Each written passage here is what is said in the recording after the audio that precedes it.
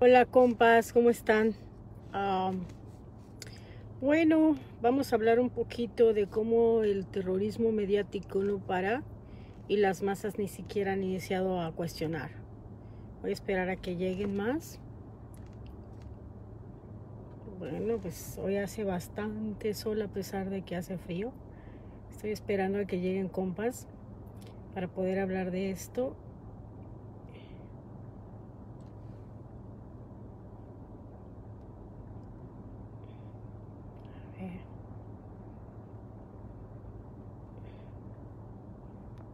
Ya, ya llegaron algunos. Bueno, este. Me quito las A ver. Pues bueno, eh, ¿por qué es necesario que sigamos hablando de esto? A ver si por lo menos la gente empieza a cuestionar un poco. El terrorismo mediático no para y en realidad se ha recrudecido más ahora que eh, Joe Biden toma la presidencia le entrega básicamente el control de la sanidad a Fauci. Y bueno, pues hicieron una sesión informativa por todos los medios de comunicación donde este señor eh, que se dice científico, que se dice hombre de ciencia y al servicio de la salud y de la gente, bueno, dijo que sí, que, que era bueno usar doble cubrebocas Imagínense nada más la pendejada y lo peor es que la gente se lo cree. De por sí ya teníamos gente histérica que se dejaba llevar por el terrorismo mediático al que nos han sometido desde el inicio de esta pandemia en China. Después llega a Estados Unidos y se recrudece este terrorismo mediático donde nos han obligado, y digo nos han obligado porque durante las primeras etapas de la pandemia se interrumpían programas, eh, estabas escuchando la radio y se interrumpía para dar sesiones informativas sobre el bicho matón, sobre el COVID. Y, bueno, este, el coronavirus era el tema aquí y allá y, contando muertos todo marzo, abril y luego mayo. Eh, eso fue terrible, no tenías la opción de distraerte en otra cosa, porque aparte nos tenían en cuarentena. Eh, fue una cuarentena que duró 90 días, ¿verdad? Empieza en marzo y termina a finales de, mayo, no, a principios de junio, a, mediados de junio. En mayo medio abrieron y en junio ya como que nos soltaron un poco.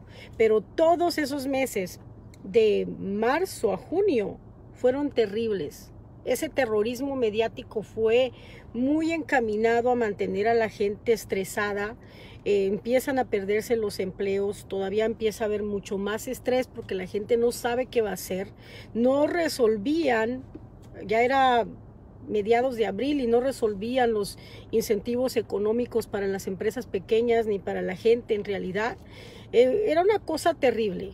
Teníamos el problema de que nos estaban diciendo que el bicho era supermatón y que nos íbamos a morir y que no salgas y que quédate en casa y ponte guantes. Era terrible ver a la gente con doble el guante de látex, doble cubrebocas, con el montón de cosas de plástico en la cara para, para no enfermarse. Eh, a mí lejos de darme risa me daba mucha tristeza había veces que sí se me salió una carcajada por ahí porque la gente se las ingeniaba para no infectarse según y salían hasta con bolsas de plástico. Háganme el favor. O sea, de ese tamaño hemos cedido al terrorismo mediático. Después en julio nos dicen, eh, ya hay seis cepas de diferentes, unas más agresivas que otras. Y no se hizo tanto rollo. Creo que se guardaron esto porque sabían que se iba a necesitar. ¿Verdad? Vienen los meses de diciembre y nos empiezan a decir, no de, noviembre y diciembre, nos empiezan a decir, hay una mutación super asesina que viene de, de, Europa.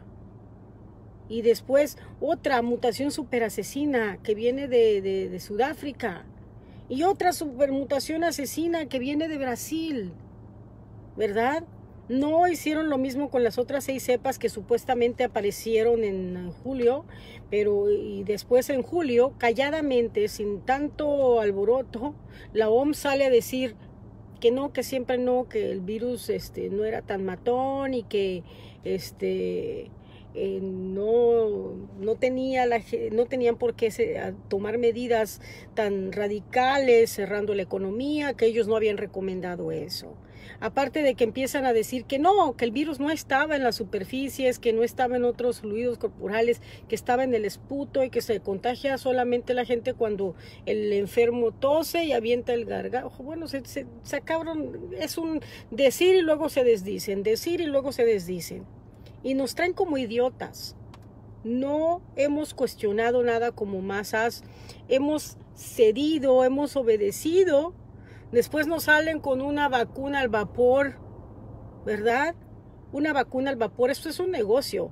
Yo hasta me puse a cantar la de la tesorito y dije, este, un bechito, mil farmacias, porque todas querían quedarse con el dinero de, la, a costa de la muerte y de la, de la enfermedad de la gente, ¿verdad? Ni siquiera este, sabemos a ciencia cierta qué tipo de bicho es. Nos dicen que la PCR, es un amplificador simplemente de información genética, es el test correcto y que no hay de otra. No hay de otra. Es ese test y bueno, también tienen el serológico de los antígenos y el de anticuerpos para ver si ya lo tuviste, pero el PCR es el, test del año, el, el único, el, y, y, bueno, leyendo por ahí literatura y viendo videos de entrevistas de Karin Mulek, este, me doy cuenta de que ese, test ni siquiera fue diseñado para eso. Me, estoy, me doy cuenta de que un científico del tamaño de este señor ni siquiera aceptaba que existía el SIDA porque no había algo contundente que dijera aquí está, aquí está el SIDA. O sea, es terrible lo que la ignorancia le hace a las masas y el terrorismo mediático aprovechándose de esta. Es terrible que médicos se hayan mostrado una ignorancia garrafal al respecto, ¿verdad? Que hayan cedido a una tontería como el no hacer autopsias y cuando se empiezan a hacer las autopsias, los médicos italianos abiertamente dijeron, no, no funciona estar intubando pacientes, les estamos quemando los pulmones. Y lo dicen así. Y luego sale otro estudio donde nos dicen, que el problema está a nivel celular y eso es una realidad. Eso lo, saben, lo sabían y siempre lo han sabido. Cuando hay una neumonía bilateral con coagulopatía, esto nos habla de que el problema está a nivel celular. O sea, no hay intercambio de gases a nivel celular en el alveolo, para ser exactos. Si no hay intercambio de gases, aunque les estés metiendo oxígeno hasta por el culo, ¿verdad? Este no va a llegar a donde tiene que llegar. ¿Verdad? Y en México se ha desatado un relajo con esto de los tanques de oxígeno. ¿Por qué no le dicen a la gente la verdad? Están haciendo un negocio a costa de la muerte y de la enfermedad el sufrimiento, el estrés al que nos han sometido. ¿Verdad? La escasez en México de, de tanques de oxígeno. Pobre gente, yo me pongo a pensar si supieran que no le está sirviendo de nada a sus enfermos. Si la neumonía bilateral causa que no haya intercambio gaseoso a nivel celular, está por demás. ¿Por qué no le dicen a la gente la verdad? Los médicos saben que el tratamiento adecuado para esto son los antiinflamatorios. Ya, ya habían hablado de la dexametasona para desinflamar. El problema es la inflamación. Ellos lo saben, no lo ignoran. ¿Por qué siguen intubando gente? ¿Por qué le siguen metiendo oxígeno? ¿Por qué siguen dejando que el, problema o la enfermedad progrese a grado de que disminuye la saturación de oxígeno hasta 75? Porque les dicen, no, no, no, venga ya cuando esté, este, que ya eh, de verdad tenga problemas para respirar. Y no solo aquí, no solo en México, en Estados Unidos también.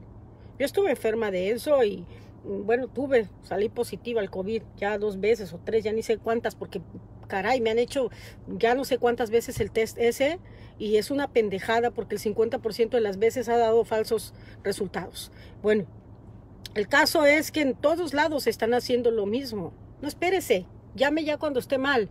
Ya cuando la persona está mal, ahora sí la quieren intubar y le quieren meter de todo. Y no lo ignoran. Carajo, hay neumólogos. Los neumólogos saben a qué nivel se ve afectada la respiración? ¿Por qué hay una coagulopatía cuando hay una neumonía bilateral? Ellos lo saben y saben que la respuesta está en desinflamar el paciente, ¿verdad? Están dejando morir a la gente. La gente no se está muriendo de COVID. Hay una gran ignorancia médica que yo la verdad no sé si es ignorancia o simplemente negligencia o simplemente están siguiendo protocolos sin protestarlos, porque tienen el conocimiento para negarse a seguir esos protocolos y no lo están haciendo. ¿Mm? Y lo peor es que dicen que uno ya se cree médico. Yo tengo formación médica. A mí no me pueden engañar. No es que uno se cree experto, es que tengo la información médica, tengo la formación médica y entiendo de qué se trata todo esto. Y aparte me he documentado, porque una cosa es haber tenido la formación, haberte educado en la Facultad de Medicina, ¿verdad? Y una diferente es estar eh, este, reafirmando el conocimiento con cosas nuevas. Hay artículos serios con peer review que nos están diciendo básicamente que nos están viendo la cara de pendejos. Ahora, para acabarla de fregar, salen los médicos a victimizarse y a decirnos que por culpa de la gente ellos están enfermando. Eso es una mentira. Si ellos mismos están promoviendo el uso de cubrebocas y lo están usando todo el tiempo, ¿por qué se están infectando? Si usan guantes, quiere decir que algo no están haciendo bien en los protocolos de seguridad y de higiene. Hay algo que no están haciendo bien en los hospitales. Y esa es una realidad son bien cochinos. Contaminan un área de una área a otra por no quitarse la maldita bata hedionda, como si quitándose la bata ya dejan de ser médicos. Es una reverenda estupidez. Y a mí no me van a decir que no es cierto porque lo viví. En los hospitales así se comportan. ¿Mm? La, la arrogancia del médico ha llegado a tal grado que ni siquiera toma en cuenta la decisión del paciente ni lo que el paciente piense ni la educación que tiene el paciente. Si como paciente tú le dices, oiga, pero yo leí en la literatura médica esto, ah, ¿tú eres médico? A mí me ha tocado decirle sí, sí lo soy. Entonces ya le bajan de huevos y te, me explican un poco mejor los padecimientos cuando he, acudido a los matasanos, ¿verdad?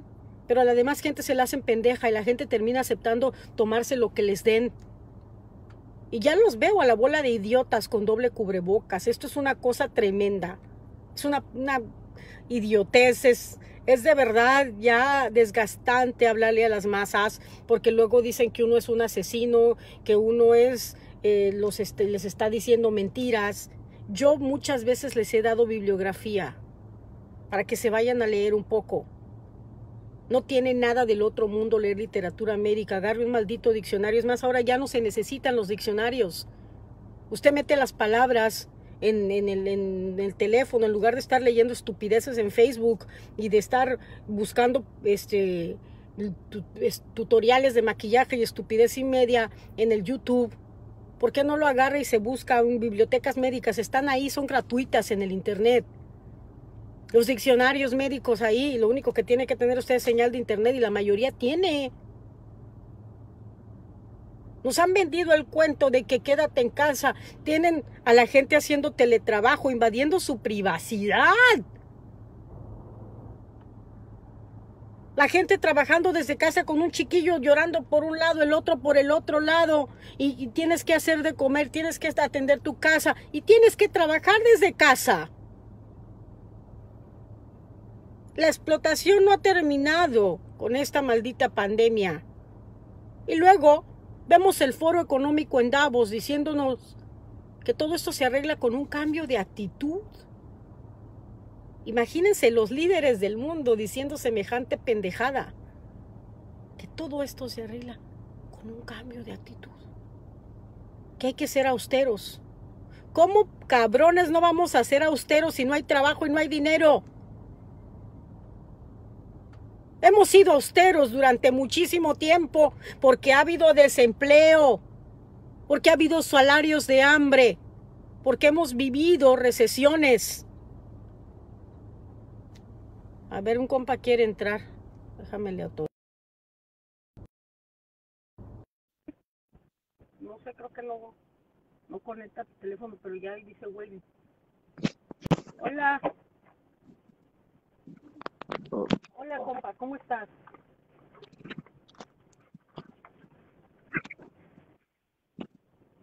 Hola.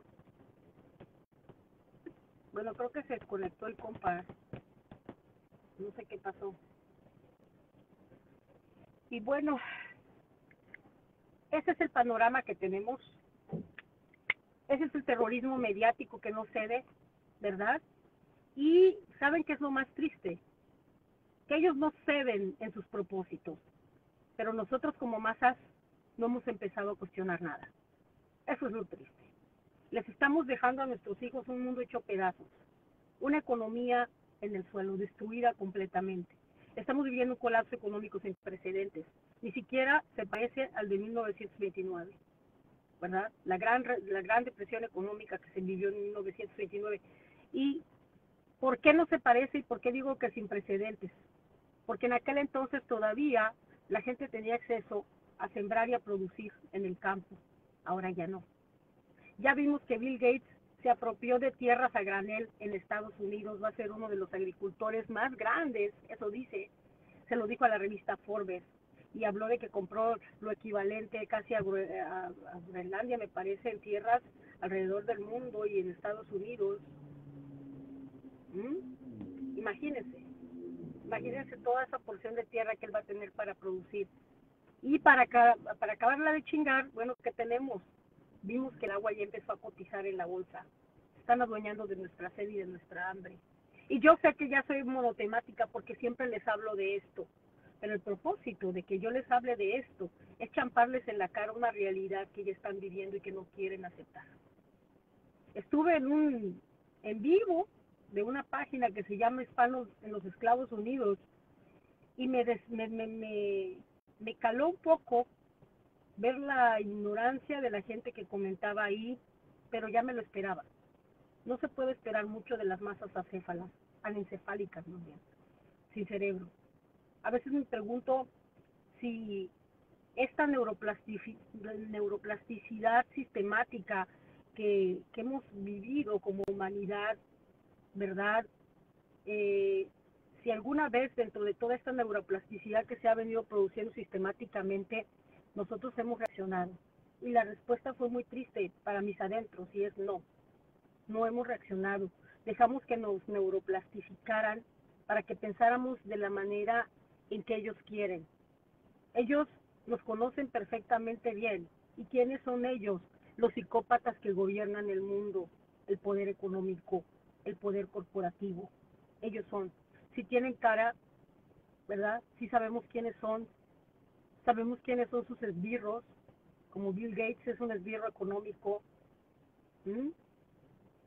Ese es un tipo que, que nos ha vendido nos ha vendido antivirus, pero nos vende, también nos mete el virus. O sea, te venden el problema y te dan la solución. Él está muy acostumbrado a esto. En el foro del 2015 hubo ensayos respecto a esta pandemia. ¿Y los ensayos fueron para qué? Porque están estaban, estaban planeando todo esto porque el sistema económico como lo conocemos ya no era sostenible. ¿Mm? Una cosa es explotar los recursos, explotar a la gente, llevarla al consumismo de la manera en que lo hemos hecho. Y otra muy diferente es ver que si los recursos se acaban también tú te vas a fregar. Necesitaban cambiar este sistema económico basado en el consumo. ¿Mm? ¿Y cómo lo van a hacer? Bueno, nos están diciendo a nosotros que tenemos que ser austeros, pero ellos no van a ser austeros. Ellos van a seguir viviendo de nuestras necesidades. ¿Por qué va un tipo como Bill Gates a comprar tierras para producir? ¿Por qué el montón de millonarios andan comprando semillas? ¿Mm? ¿Por qué el montón de millonarios y de corporaciones están comprando no solo tierras, sino concesiones de agua? Y eso no se lo preguntan. No cuestionamos nada como masas. Estamos dejando que nos digan cómo vivir y, nos, y, cómo morir. Así de fácil. Nos están diciendo cómo vivir, nos están diciendo quédate en casa, aléjate de la gente que amas, no visites a nadie. Ya lo vimos. Es muy triste que ya teníamos el tejido social hecho pedazos Pero ahora no solo el, tejido social va a estar hecho pedazos, ya nos rompieron por completo. Nos rompieron de tal manera que no vamos a saber cómo reaccionar en simbiosis cuando la escasez empiece a imperar y no tarda en suceder. No han podido parar el tsunami de bancarrotas. Yo espero que lo hagan porque se va a ser terrible, va a ser terrible empezar a vivir la escasez. Va a ser terrible empezar a ver cómo la gente a nuestro alrededor empieza a tener necesidades y empiece a aflorar el instinto de supervivencia. Eso va a ser lo garrafal porque va a haber mucha rapiña, delincuencia, violencia. Eso es, a, eso es a lo que yo más miedo le tengo. El bicho matón a mí no me hizo nada y a la mayoría no les hace nada. No sean tan idiotas. Vean las estadísticas. De 26 millones, ya van 27 me parece, de enfermos en Estados Unidos, de infectados, de positivos. Que yo la verdad dudo que esto sea certero porque la PCR no es eh, para eso, pero bueno, nos han dicho que sí y ya, la gente lo ha catado. Pero fíjense, aún así nos dicen que de 27 millones de personas infectadas hay 500 mil muertos, o menos de 500 mil. ¿Mm? Aprendan a sacar cifras. Yo les voy a volver a decir cómo hacerlo. Agarren la cantidad de muertes, o sea, 500 mil, y divídanla por la cantidad de gente infectada y multiplíquenlo por 100. Ese es el porcentaje de, de letalidad y el de mortalidad es el la cantidad de gente muerta, ¿verdad? La divides por el número total de la población y la, la multiplicas por 100 mil o por mil. Y eso te va a dar la tasa de mortalidad, que no es lo mismo que la de letalidad. Aprendamos, por favor, a pensar. No es demasiado tarde. Yo podría decir, bueno, ya que que se los cargue la fregada. Lo que pasa es que nos llevan a todos entre las patas. Con esa pereza para pensar y para cuestionar, nos llevan a todos entre las patas. ¿Por qué? Porque su idiotez los ha llevado a volverse los policías del bozal. ¿Mm? Han llegado al extremo de golpear a la gente porque se quita el bozal en la calle. Hemos llegado al extremo de que permitamos multas porque la gente se quita el bozal en la calle cuando la carga viral no se concentra en espacios abiertos, en espacios cerrados sí. A mí me, da, me da tristeza ver el grado de idiotez de los médicos que no entienden lo que es la carga viral y dónde se concentra y por qué los mismos neumólogos, cuando la gente se enferma de infecciones respiratorias, recomiendan que abras las ventanas, que dejes circular el aire. Pero ahora no. Ahora están diciendo enciérrate, ponte bozal, vuélvete a tragar toda la enfermedad o contamínate con más bacterias de la boca hacia adentro que se vayan al tracto respiratorio para que te provoquen una infección agregada bacteriana encima de la viral que ya tienes. Eso es lo que le está sucediendo a la gente. Se les están agregando complicaciones por infecciones de otro tipo. ¿Por qué? Porque las enfermedades virales sí, sí, sí debilitan el sistema inmune no están trabajando con el sistema inmune los médicos. Eso es una tristeza. Ahora la vacuna, al vapor ahí, una vacuna de la que no se conocen los efectos a largo y a mediano plazo. Muy pocos efectos de, a corto plazo se conocen. Y esa es la vacuna que nos están poniendo. Es la vacuna que se están dejando poner la mayoría.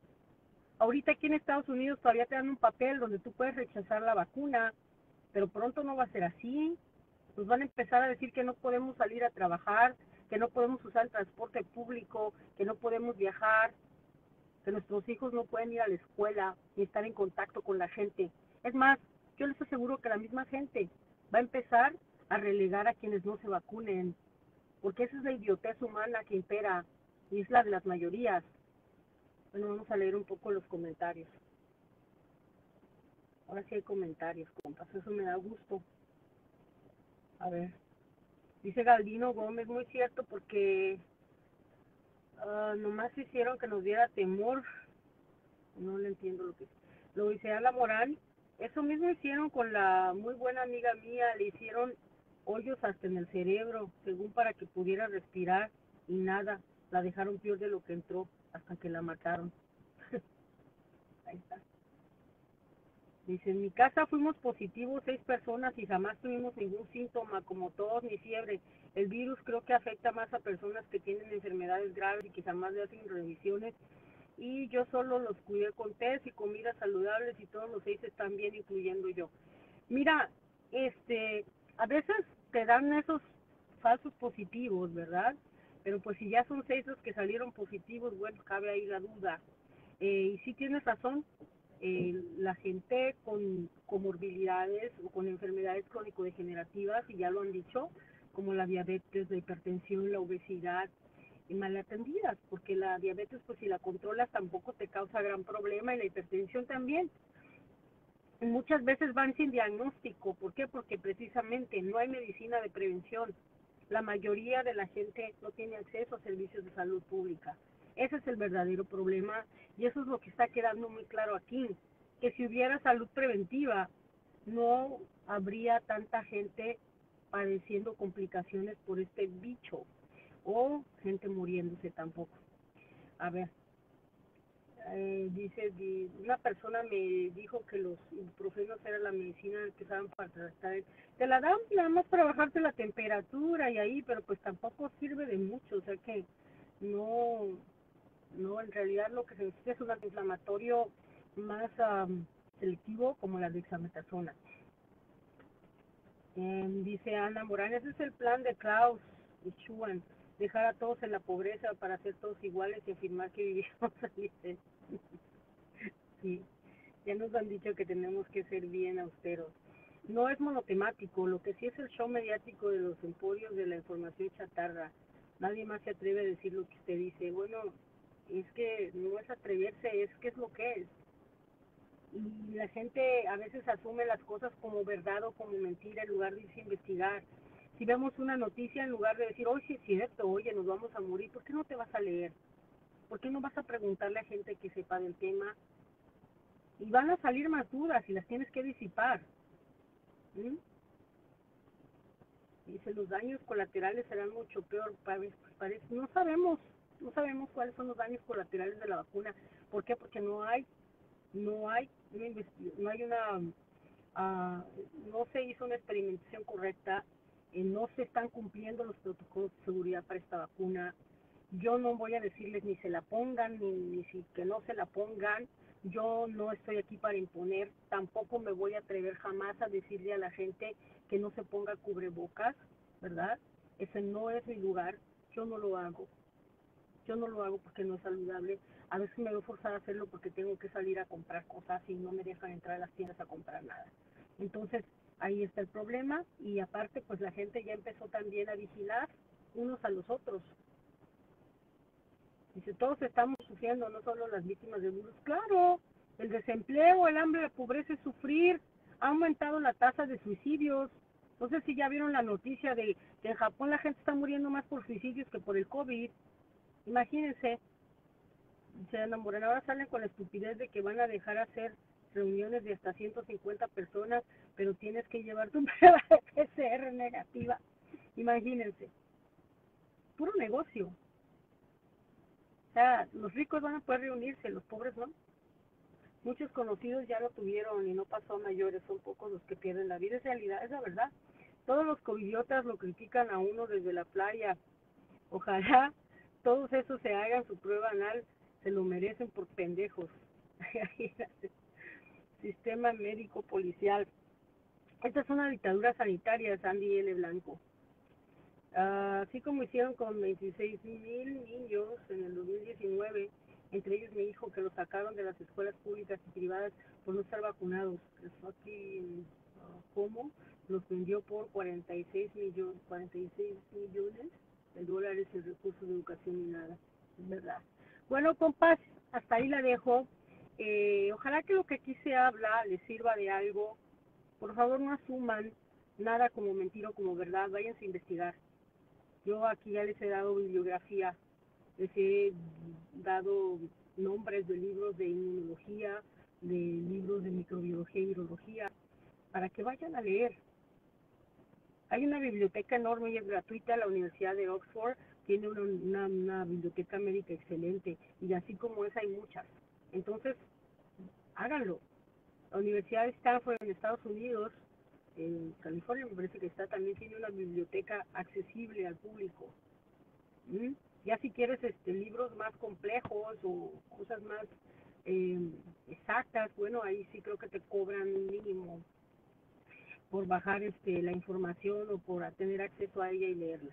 Hasta ahí la dejo, compas. Buenas tardes. Yo hoy tengo una actividad eh, comunitaria. Eh, vamos a entregar otra vez despensas a la gente. El empobrecimiento es bastante. Y bueno, eh, si no si no hacemos nosotros algo para que nuestra comunidad esté mejor, ¿quién lo va a hacer? No podemos ya esperar nada, las instituciones nos han abandonado a nivel salud, a nivel educativo, a nivel seguridad, estamos a la deriva como sociedad. Y, tenemos que organizarnos, esa es la única manera en la que podemos evitar que el golpe sea más fuerte. No hay manera de evitar que nos golpeen, pero sí podemos eh, acolchonarlo un poco para que no nos dé tan duro. Y eso es haciendo comunidad. No olviden que si su comunidad está bien, usted está bien. Si su comunidad está empobrecida, no tardará usted en sufrir los estragos de la violencia. Porque la pobreza es la madre de la violencia. La escasez es la madre de la violencia. Hasta ahí la dejo, compas. Buenas tardes. Hasta luego. Y bueno, soy responsable de lo que digo. Yo tengo bases para hacerlo. A las pruebas me remito. No soy responsable de lo que usted sienta con lo que digo.